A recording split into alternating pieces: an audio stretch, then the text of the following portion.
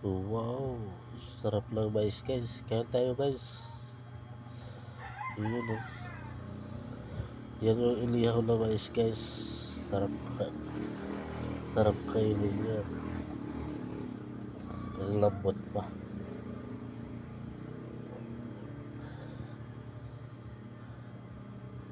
Mukbang tayo ng mais.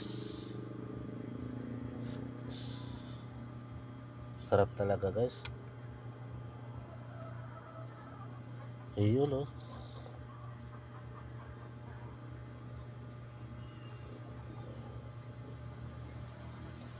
Bahingi naman.